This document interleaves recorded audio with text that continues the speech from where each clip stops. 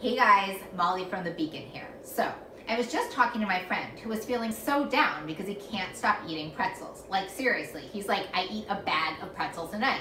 And I was like, duh, pretzels are delicious and they're also white flour, which is totally addictive. So I completely get it. And guess what? We made the best solution. We switched out his white flour pretzels for these delicious pretzels called Mary's Gone Pretzels, which have no sugar and no flour and are very delicious but not addictive. So this brought me to the realization that we need to be thinking of substitutions that we can have for things that we really want, but they don't trigger our addiction.